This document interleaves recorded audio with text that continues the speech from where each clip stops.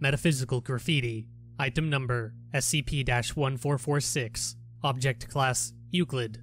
Special Containment Procedures. Samples of SCP 1446 should be kept on individual wooden slates, each wrapped in opaque plastic in an hermetically sealed container. Only one sample should be maintained permanently. Test samples should be incinerated at the conclusion of testing.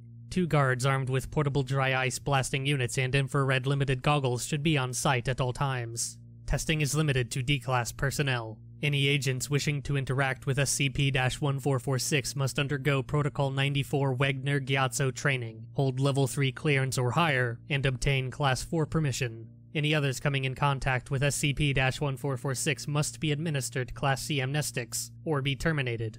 Description SCP-1446 is any of a number of examples of an acrylic-based spray paint graffiti. SCP-1446 can appear in any format which can be depicted by this medium on a conventional surface, making instances of SCP-1446 difficult to distinguish until their anomalous properties manifest. When a person observes an instance of SCP-1446 and consciously focuses on the art, it will immediately begin to spread, expanding over all available surfaces rapidly, introducing new themes and elements as it grows. This effect will last as long as it continues to be both visually and consciously examined by a human being. This can quickly grow hazardous as the expanding area covers buildings, vehicles, even people, spreading over skin, eyes, and into orifices. Depending on the size of the original sample and the number of viewers, SCP-1446 can easily cover 50 square centimeters of surface per second per observer. No maximum growth rate has been determined.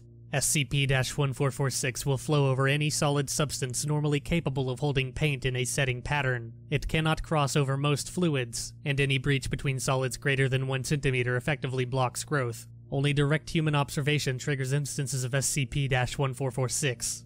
Anyone exposed, however, is subsequently able to create new instances of SCP-1446 simply by concentrating on the memory and using ordinary acrylic spray paint.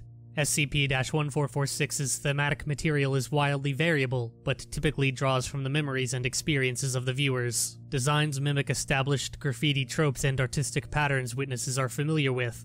Despite this apparent psychic link, SCP-1446 does not appear to be self-aware. While manifestations lean towards the artistic and abstract, occasionally fanciful depictions of the observer's personal life do occur. This makes SCP-1446 a risk for possible information leaks. Security and exposure procedures should reflect this.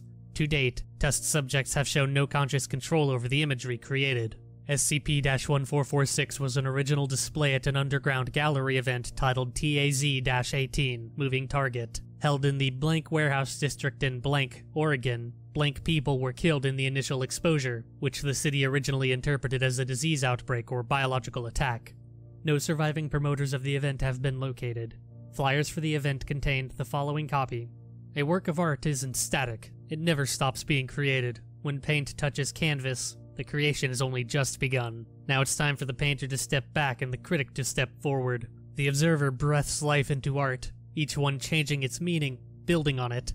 The art feeds on their ideas, their belief, their dreams and nightmares and perceptions. They imbue the creation with meaning. The interplay between the art and the patrons blossoms outward, smothering the boundaries between them until one wonders if there were ever a distinction between artist and audience at all, or if art is just a moving target.